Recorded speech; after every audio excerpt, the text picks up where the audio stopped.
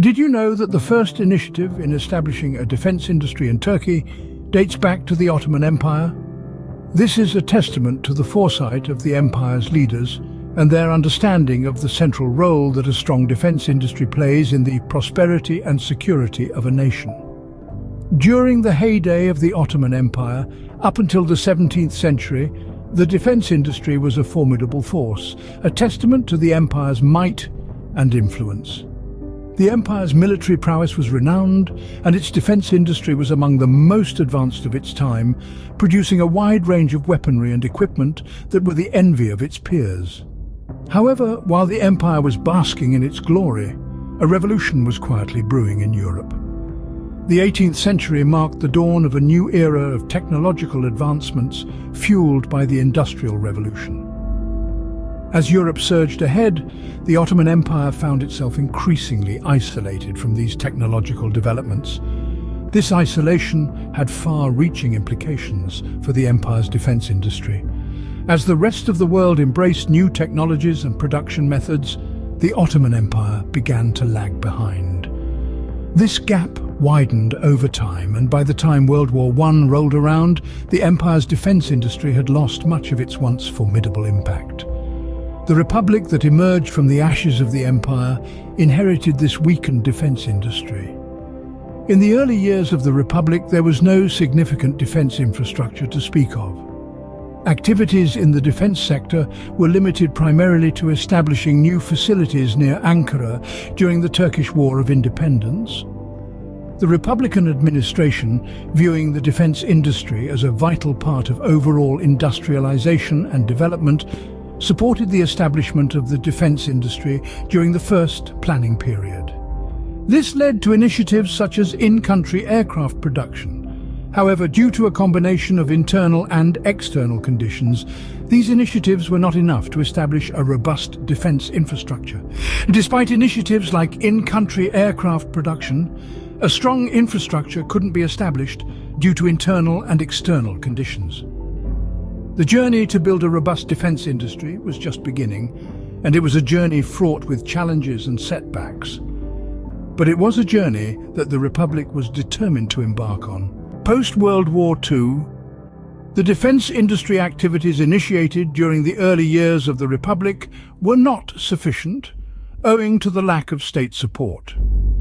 The situation was further complicated by the foreign military aid that Turkey started receiving upon the promotion of bilateral relations with the United States and its subsequent membership in NATO. The influx of foreign military aid, while beneficial on the surface, inadvertently led to a slowdown in Turkey's homegrown defence initiatives. In the 1960s, Turkey found itself grappling with a series of regional problems that severely tested its defence capabilities. The Cyprus crises in 1963 and 1967 were particularly challenging, straining Turkey's resources and highlighting the limitations of its defence industry. The situation reached a boiling point in 1974 with the Turkish invasion of Cyprus, a move that resulted in an international arms embargo against Turkey. This embargo had a profound impact, cutting off Turkey's access to foreign military aid and leaving it to grapple with its defence needs largely on its own. These testing times, however, also served as a catalyst for change.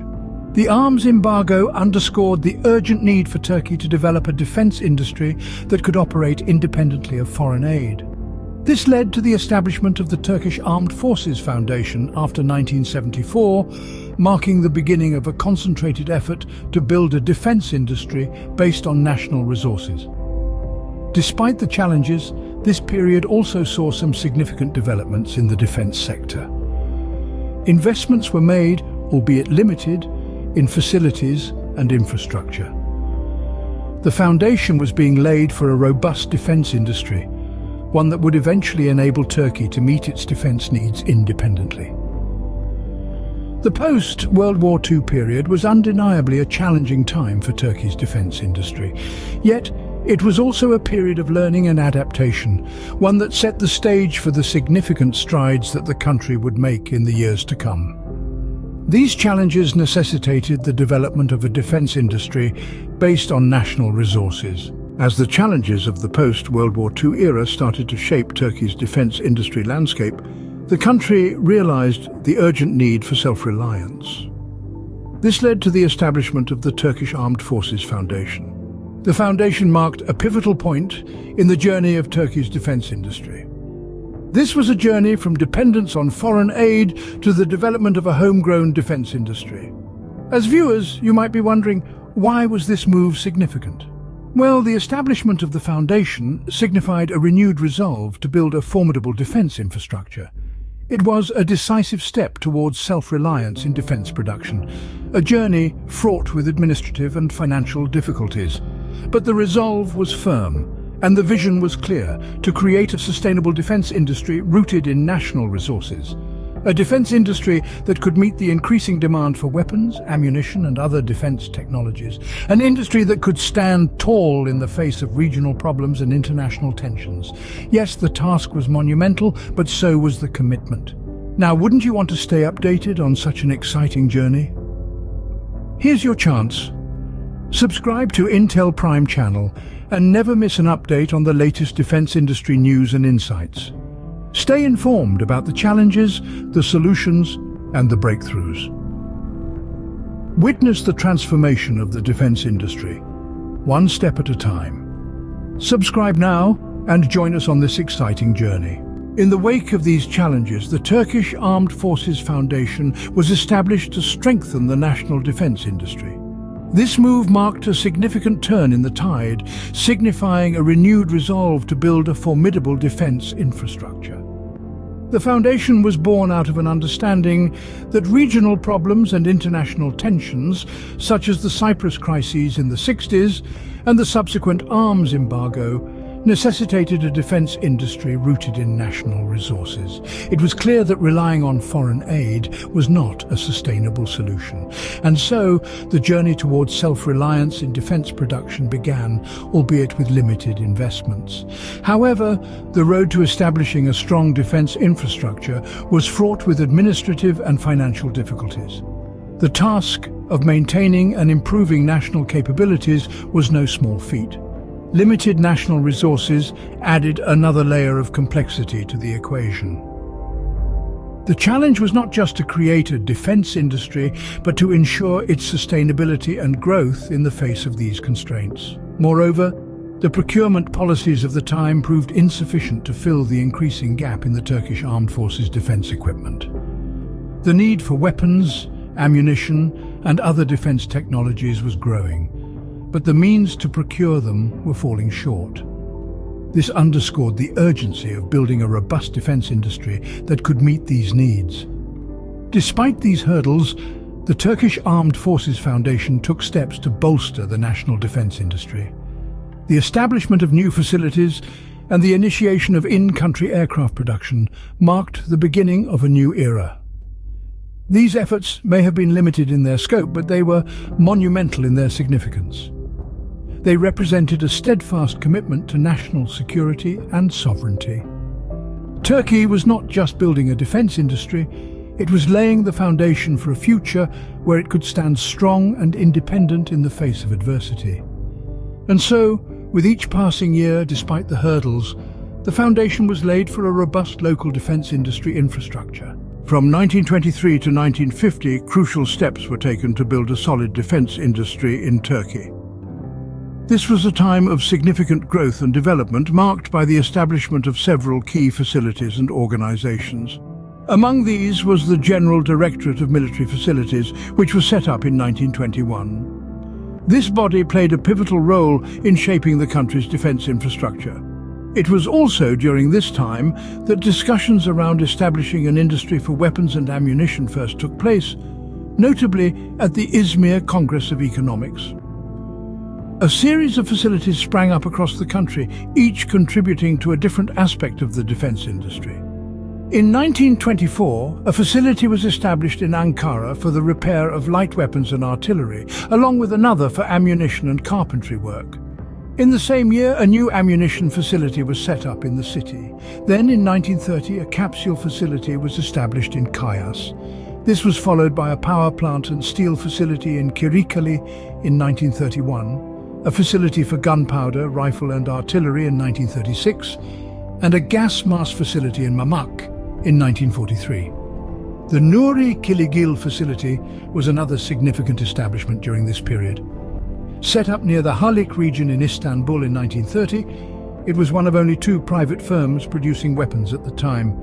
It manufactured pistols, 81mm mortars and their ammunition, as well as explosives and pyrotechnics. This facility provided valuable support to the Turkish armed forces during World War II. The Gölcük shipyard was set up in 1924 for the maintenance of the Yavuz battlecruiser. Later in 1941, the Taskizak shipyard was reactivated. These developments were integral to the growth of the country's naval capabilities. This period marked the birth of the Turkish aviation industry with the establishment of Tayyare ve Motor Türk AŞ.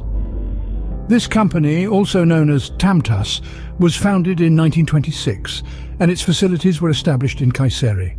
Its inception was a significant milestone, not only for Turkey's defence industry, but also for the broader field of aviation. So, let's recap the journey of the Turkish defence industry.